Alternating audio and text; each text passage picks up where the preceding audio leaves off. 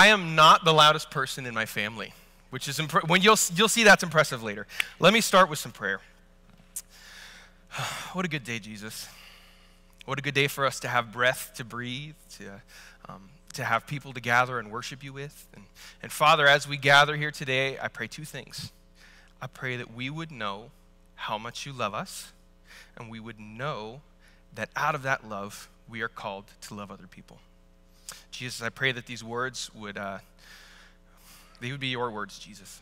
Would you, would, you help, would you help me to speak clearly and would you help our hearts to be open um, to hear what your scripture has to say to us today? Jesus, in your name we pray these things. Amen. Well, thanks for coming, guys. Uh, as Erica said, my name is Jake, and I get the joy of being on the staff team here. Um, and we are in the middle of a sermon series called Together. Together. So, for the summer, we spent pretty much the whole summer looking at our vertical relationship with God, right? What does it look like to have a healthy relationship with God? Jesus gives a commandment. He says, This is number one priority, okay? If you're going to get anything from the Bible, get this love the Lord your God with all your heart, mind, and strength have a healthy relationship with God. And he says the second is exactly the same. Flip side of the coin love your neighbor as yourself. So, as we've looked about healthy relationship with God, now we're like, well, okay, we should probably learn how to do the second half of that command. So, we're learning what it looks like to live life together.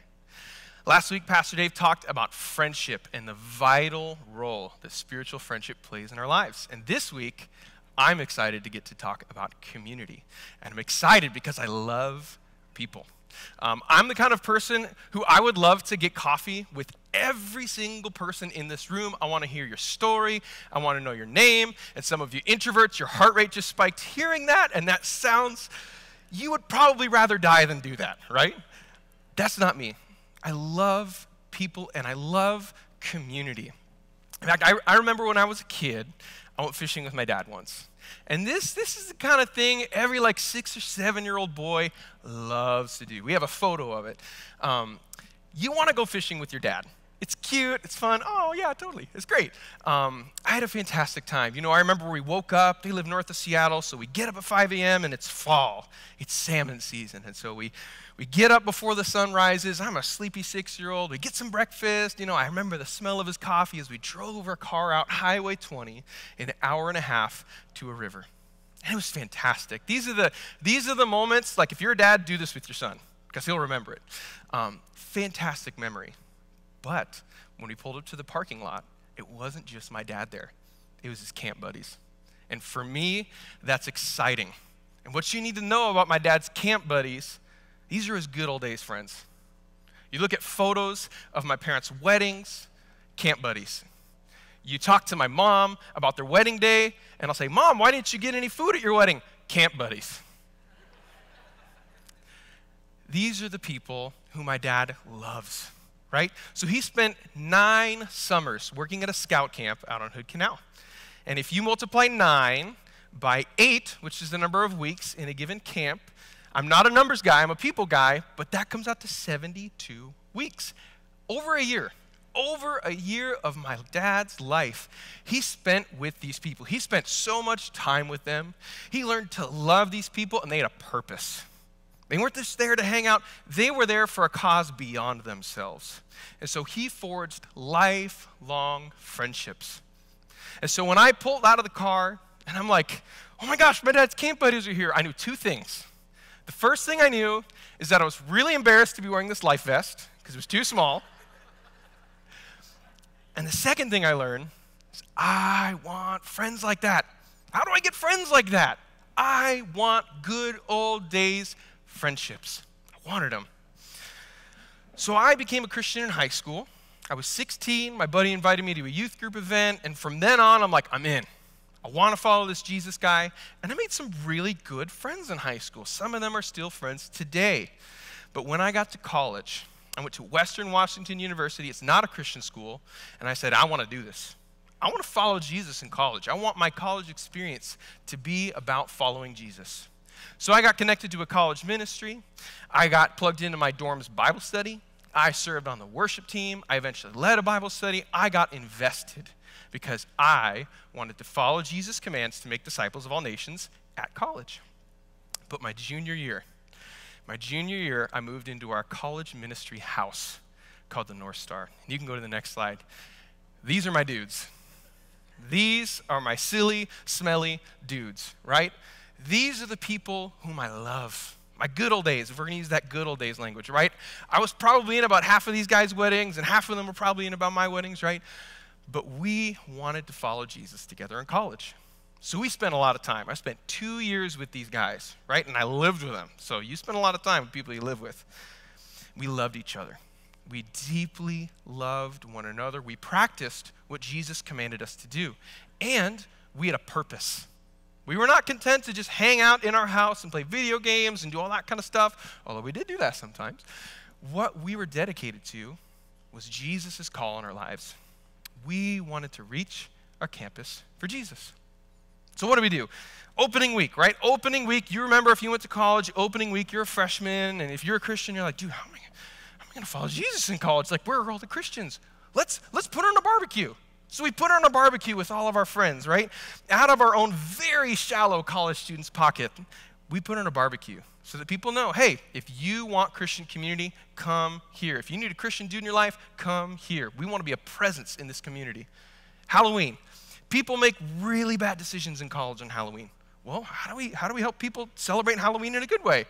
We have this four story house. Let's turn the whole thing into a haunted house. So it was a lot of work but it was an incredible memory. And we did that so that people could celebrate Halloween safely. We had worship nights, we had community dinner five nights a week. We did all kinds of things because we wanted our community, Western Washington University, to know the love of Jesus. In fact, if you go back to that picture one more time, I want to show you the top of this guy's head right here. This is Nate Marley. I love this guy so much that I'm driving out to Ellensburg next weekend to visit his new baby and you really love someone if you drive to Ellensburg for them, right? My hope for you is you have these kind of relationships today. Not, not, oh, 20 years ago on my high school football team, it was amazing, or, or not, you know, I served on my camp staff and it was great, or whatever. My hope is these are not distant memories for you. I hope, you know, this is 10 years ago for me. My hope is that you have these relationships today, maybe even in this room. But if the data holds true, that is not the case. Last week, Pastor Dave quoted a Pew study. said, Hey, Americans, they are some of the loneliest people on planet Earth. There's more data, right? Morning Consult commissioned Cigna, and they found a very similar study, right? They found that 58% of US adults are lonely. 58 8%, and I guess the number's low. I guess it's more like 6 out of 10. And so what that means, you walk, you're like, we got to go grocery shopping at Costco after this, right? After you go grocery shopping at church, 6 out of 10 people who you see in the grocery store are lonely. They are lonely, right? People are lonely. And millennials are not excluded from this. Like I'm firmly in the millennial category, and there's there's ground rules for being a millennial, and one of them is you have to have watched one of three shows all the way through. And you guys, millennials, are like, I know what that is, duh, I can answer it. I'll do it for you. It's The Office, Parks and Recreation, and Friends. We, amen? Amen, millennials? Okay, great. If you're not a millennial, if you're a Gen Z or a boomer or whatever, you fill in the blank. Where do you go to for entertainment? You know, is it your favorite podcast, or your favorite social media influencer, or your favorite talk show? We all kind of tend to do this. We all turn to these people for entertainment, right? And I don't think there's an, anything inherently wrong with watching a TV show or listening to a podcast or anything. But I do want us to ask why. Why do we religiously watch these things? And I would propose to you that one of the bad reasons we do this is because we're lonely because we are lonely. And it is easier to watch other people on a screen living out their own good old days, fabricated good old days, than for us to go do that ourselves. We are lonely. But what if I told you this is not the way God created us? You see, if you are familiar with your Bible, you'll know that Genesis is the first book. If you open to page one, and by page one I mean like page four because of preface and notes and maps and everything, open to page one, and you'll read about God creating the heavens and the earth. You know, the, the earth was formless and void, the Spirit of God hovered over the waters, and God said, Let there be light. And there was light and there was dark, and he separates them, and he calls the light day and, and the dark night, and he says, And it was good. And God creates thing after thing the heavens and the earth and the, and the oceans and the skies and the plants and the trees and the animals, all the stuff. all the stuff. He creates it all. And at the end of it all, he says it's good. I have a problem with the word good because as a 21st century American, I hear good and I'm like, that's like three star Yelp review. Good. Right? Like if somebody came up to me after service and said, Jake, you have to go to this pizza place. It's good. Come on, I'm not going to waste my time with good pizza, right? And so the biblical author, the word good is actually tov. Tov. It's a notoriously difficult word to translate because it means a lot of things. It means it's beautiful, it means it's complete, and it means it lacks nothing. So when God makes his stuff, he's not saying, yeah, three star Yelp review, you know, probably wouldn't do it again, but whatever. He's saying it is beautiful, it is complete, and it does not lack anything. So then, what is the first problem we find in our Bibles? It is not Adam and Eve eating the forbidden fruit. It is not Satan tempting man. It is not Cain killing Abel. The first problem in our Bible happens before sin. What? Here it is in Genesis 2:18. The Lord God said, "It is not tov. It is not complete. It is not beautiful. It lacks something for the man to be alone." Time out. Time out, Jake. Okay, so let me get this straight. Adam is walking face to face with God. Like I read my Bible and I pray every day so I can like get a glimpse of God.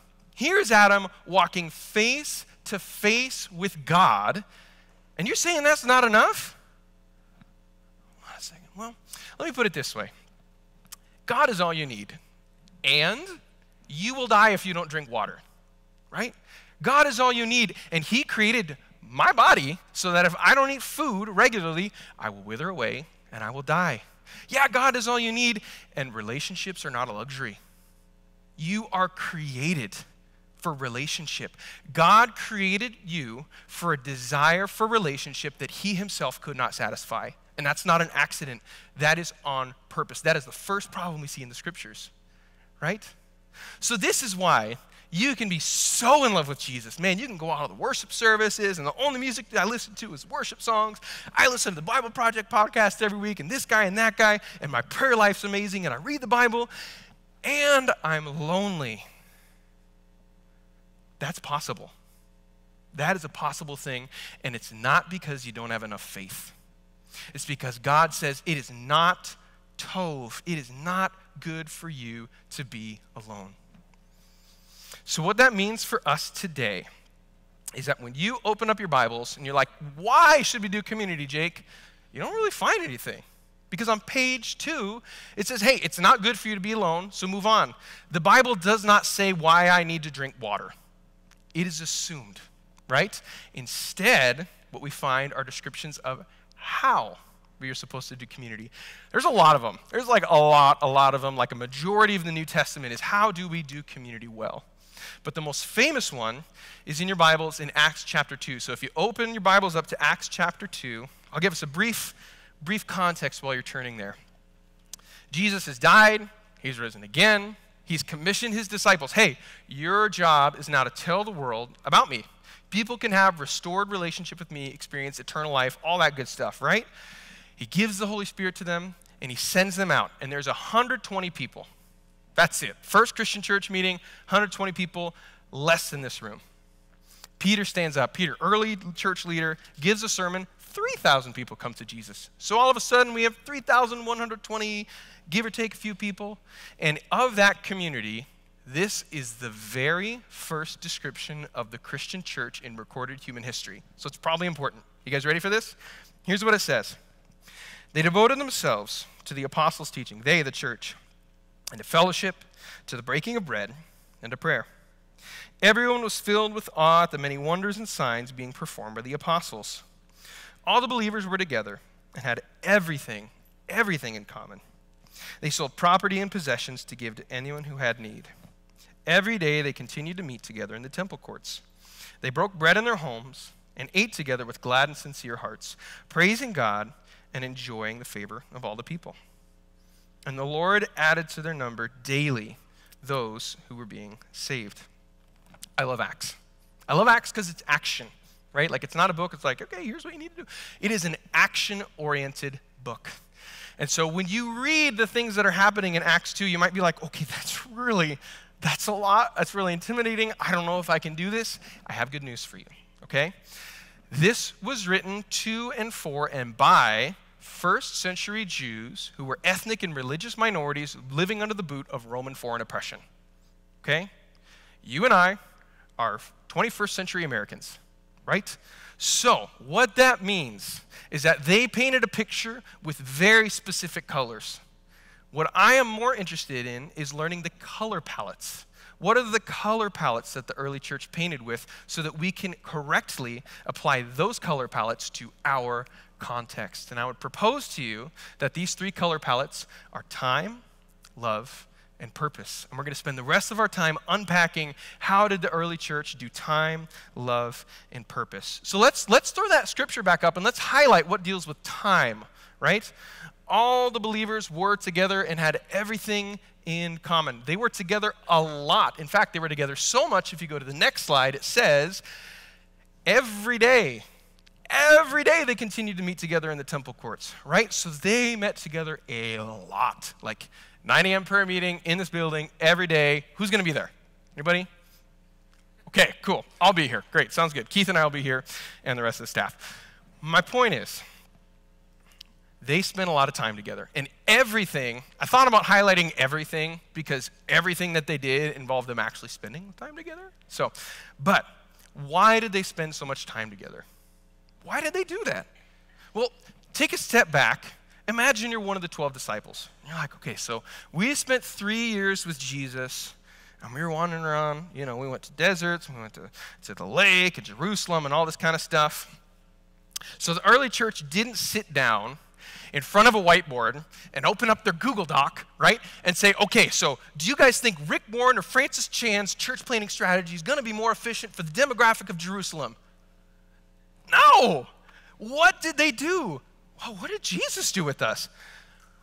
We spent a lot of time with him. Yeah, that's great. Write that down. Write that down, right? Let's spend time together. And so that is actually what the early church did. You cannot build a meaningful relationship apart from meaningful time. You cannot build a meaningful relationship apart from meaningful time. You understand this. If your marriage, man, I want to have a better marriage, you actually have to spend time with your spouse. If you want to be a better dad or a more involved parent, you have to actually prioritize spending time with your kids, right? So we have to find time together. And what that looks like in our context is small groups and Tuesday nights. And that is a teaser trailer. We'll talk more about that later. But for now, understand that for the church to grow Acts 2 community, one of the most important ingredients, maybe the most important ingredient, was time together. The next color palette of the church was love. Love.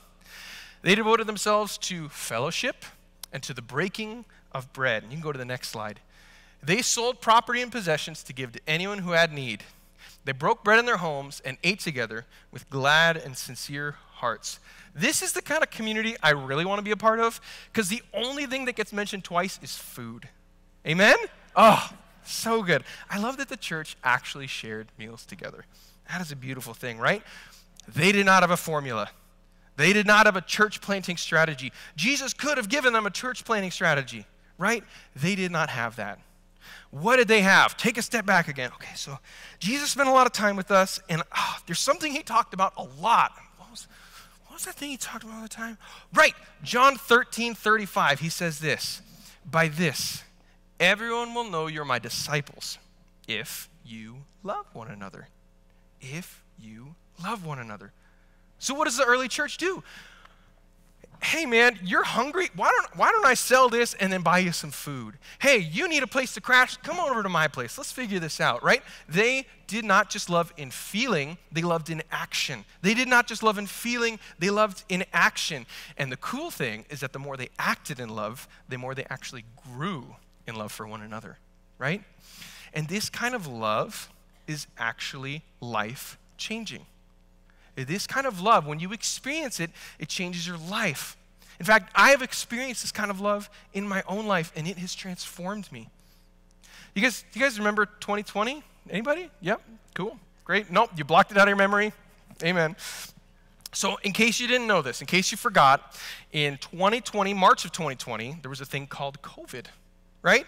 And it was tough. It was a tough time. We, we got quarantined. We lost loved ones. It was a tough time. And in April of 2020, my beautiful baby daughter Emily was born. What a gift. And you know, honestly, quarantine, bummer, but extra paternity leave? I mean, that's, that's all right with me. In May of 2020, our path for 2020 and the rest of the world's diverged because out of nowhere, my wife was diagnosed with Hodgkin's lymphoma, which is a type of cancer. And it was brutal. I, I put in my notes to say she beat cancer because I tell the story and forget it, so she beat cancer. So, so when I forget to say that at the end, you're not like, does she still have cancer? She beat cancer. This was hard. And if you or a loved one you know has gone through a cancer journey, I'm sorry, and it takes a lot. Cancer takes a lot from you, right? Chemotherapy, all she had to go through, but there's radiation, there's immunotherapy. It is brutal. And to go through that in the middle of a pandemic was, was pretty terrifying, right? One of the things that we were robbed of that you don't think about in this story is that we had a six week old baby girl at this moment. My wife's body is being pumped full of poison and chemotherapy, so she could not breastfeed our daughter. That was a, that's a very important thing. That's time you don't get back. I can't look at her, I'm going to cry. Um, that's time you don't get back. And your daughter is so dependent on that milk to survive. It is the only thing they need to survive. And we couldn't provide that for her. And that's painful. On top of everything else, that's just kind of the cherry on top. And this is where we enter into the story of the Marleys. You guys remember that guy's head I told you about? You could throw up this slide. This is a picture of uh, Nate, his wife, and I and Rachel with our new son Caleb at another North Star guy's wedding. And I love these guys. Man, we, we were tight in college. They loved us. I mean, they're fantastic. But it's 2020. We haven't lived in the same city as them since 2016. So it's been four years since we lived in the same town as these guys. Now, we love them. Like, if they moved to Vancouver, I would buy a duplex with them, right? I, they're those kind of friends. But we haven't lived together for years. Maggie had recently had her own baby in 2020, and she's like, well, I can, I can pump some milk and get it to you guys. And without our knowledge, she reached out to our old community up in Bellingham, Washington. So Ellensburg, Bellingham, we're in Eugene at the time. And they got together, our friends, and our friends of friends, and the friends of the friends of the friends. And they gathered as much breast milk as they could to provide for our daughter. And they drove down. They could barely fit the coolers in the car, right? Four months worth of breast milk for our daughter.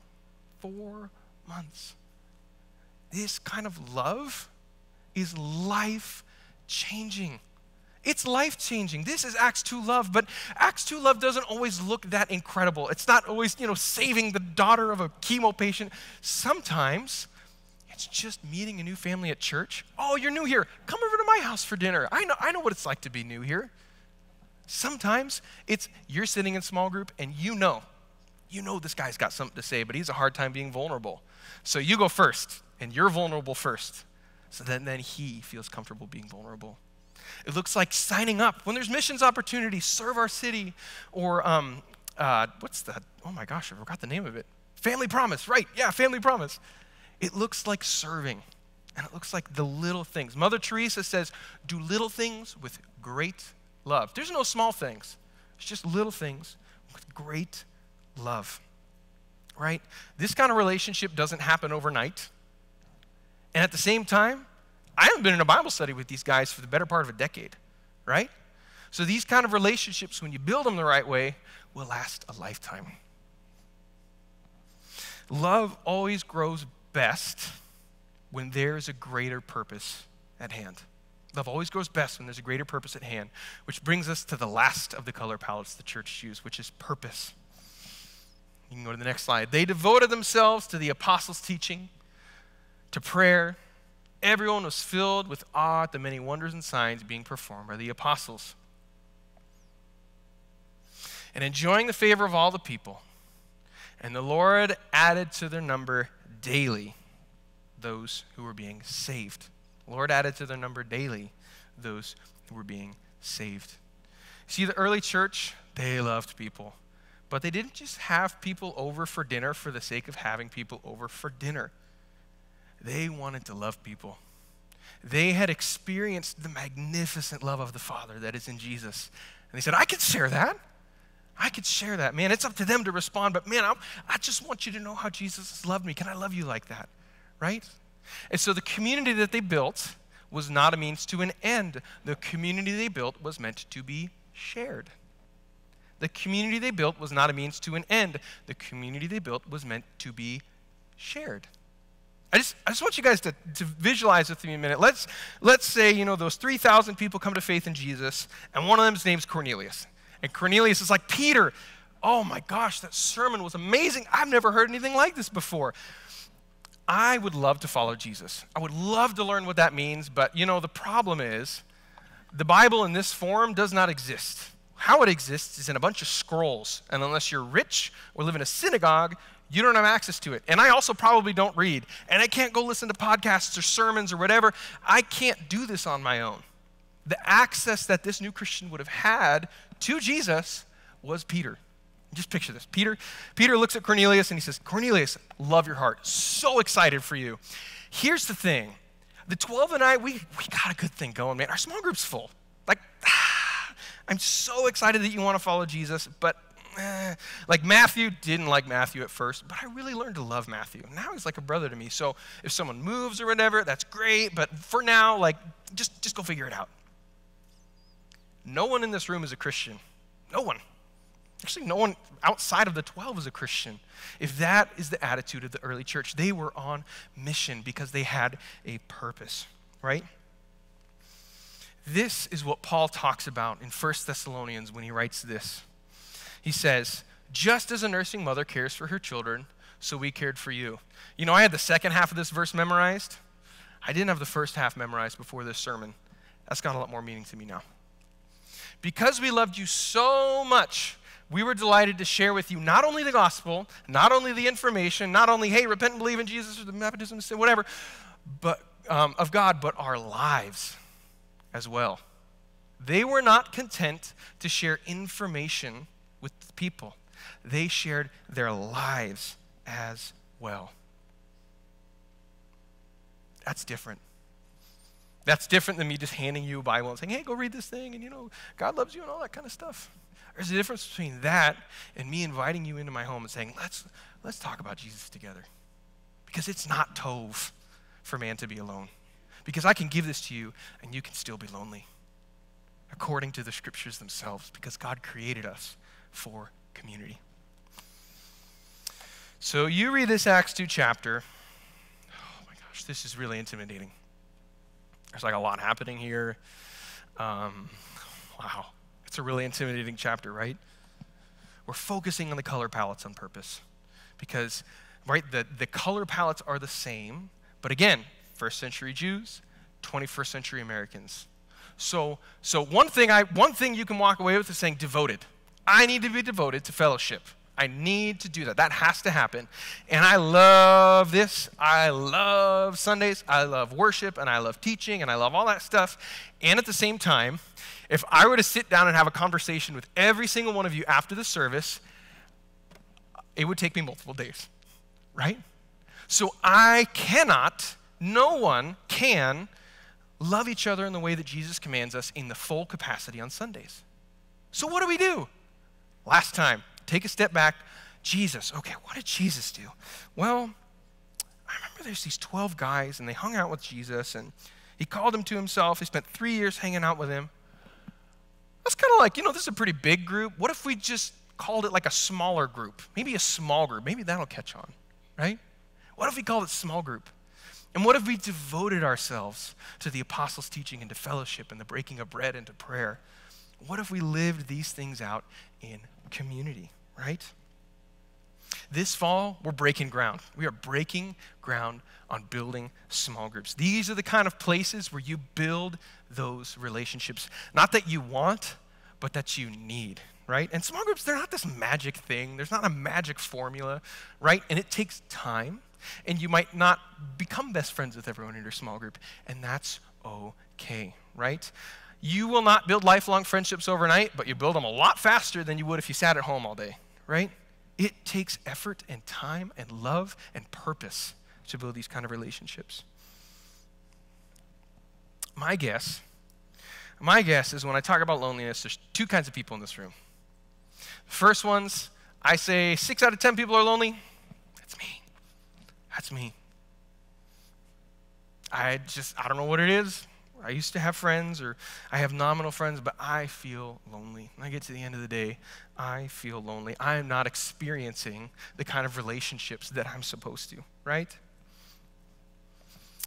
My challenge to you is one of two things, okay? Ready? If you're going to get anything from this sermon, like flush all the rest of it out, just hear this one part. Join a small group or come to Tuesday nights. That's it. That's the antidote. The antidote is to spend time and love and purpose with one another. So, as we're building small groups, right, if you're like, oh man, there's not enough small group leaders, great, we do Tuesday nights on purpose. They are intentional, and I have a secret plan. You guys to know my secret plan? My secret plan is to build small groups out of Tuesday nights. what? We can do that. That's amazing. Prioritize Tuesday nights, right? Coming out of COVID, a lot of us are wounded and broken. We've lost a lot. Some of us have even lost loved ones. But something I would guess that every person in this room has lost is relationships. Friendships with people who you thought, man, they are my closest friends, and all of a sudden, I don't even recognize you. I don't know what's happening. Why? Why do we have enmity with each other? Or quarantine, the isolation that comes from that. Man, I was working with college students in the throes of COVID. Six out of 10 was generous. I think it would have been nine and a half out of 10 were lonely in that time. Right? We have all lost relationships. And the pain and the thought of, I'm not going to go make new relationships. I know what happened last time. I'm fool me once, shame on you, but fool me twice. I don't really want to do that. And you're content to just sit on the sidelines and be alone. I'll tell you what, the pain of community is real. It is real. You will get hurt. But in the long run, the pain of isolation is always greater than the pain of community. In the long run, in the long run, the pain of isolation is always greater than the pain of community. That's not you. I'm good. Man, I got friends. I feel like I got my good old days, buddies. You know, look at that picture. I'm like, yeah, I'm thinking of this person in this room. Would you pray? Would you open handedly pray about building that kind of community for other people? Would you open handedly pray about leading a small group so that other people can experience the life transforming relationships that you have experienced? Because this is the gospel. This is the gospel that Jesus was in the perfect small group with the Father and the Spirit perfect relationship, right? There was no pain or baggage or none of that. He was perfect. It was amazing. And yet he saw his children and he saw the pain of loneliness and the pain of sin and brokenness and isolation. And he said, I will enter into that so that we can have restored relationships, so that you can come be a part of my fellowship. That is the gospel. So much of the time we talk about, man, you need to have a restored relationship with God, and you do, 100%. But something we neglect to talk about is that restored relationship with God should lead to restored relationship with other people. Right? The great commandment love the Lord your God with all your heart, mind, and strength. Check. But also love your neighbor as yourself. We want to do what Jesus did. We want to walk in this kind of Acts 2 community, but it takes us being devoted to one another even when we stomp on each other's toes and we say things that are kind of mean or unintentional or whatever. But it will take dedication and devotion. Will you pray with me? Jesus, I'm very thankful that you are not content to sit in heaven and to say, well, figure it out. You guys can do this. You put on, you put on skin and bone. You put flesh in the game and you moved into the neighborhood. You lived among your people. And you actually showed us, Jesus, what it looks like to live in community. Father, I pray that this church, would this church break that statistic? Six out of 10, man, I pray it would be zero out of 10 in the name of Jesus. And Lord, that doesn't happen magically, that happens by devotion. Lord, help us to be devoted to one another in the way that you are devoted to us. We love you, Jesus. It's in your name we pray all these things. Amen.